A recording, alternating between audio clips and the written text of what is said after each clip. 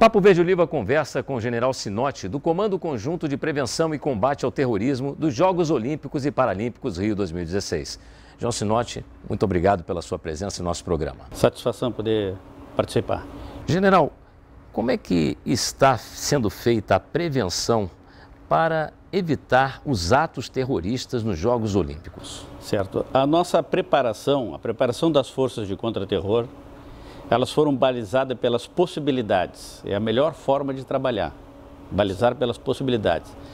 Elas são frutos de uma minuciosa análise de risco, né, que considerou, inclusive, é, é, ações múltiplas, né, eventos múltiplos e um estudo de situação bem orientado para que as forças de segurança tivessem condições de fazer a melhor prevenção e também dar a melhor resposta em função do evento que pudesse acontecer, que possa acontecer.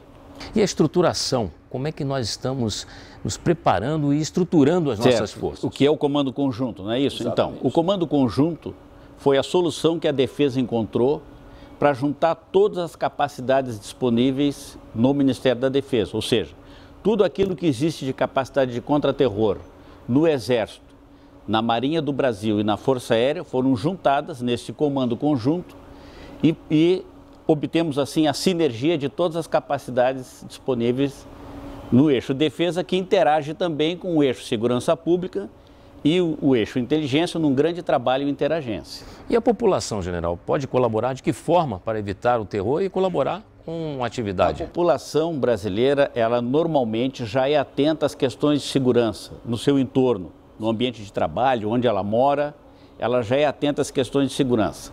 Nós realizamos um trabalho desde o ano passado que chamamos de EPAT, o Estágio de Percepção da Ameaça Terrorista, que é lançar para a população um novo olhar sobre essa questão de segurança, porque esse tema é muito central, já está na agenda de todos os lares, né? E nós então desenvolvemos em várias audiências uma instrução mais qualificada no sentido de estar atento ao que possa representar uma ameaça e assim alertar as forças de segurança. Dessa forma, eu tenho que cada cidadão é um agente de segurança produzindo né, para a coletividade é, uma maior segurança contra os atentados terroristas. General, muito obrigado pelas informações.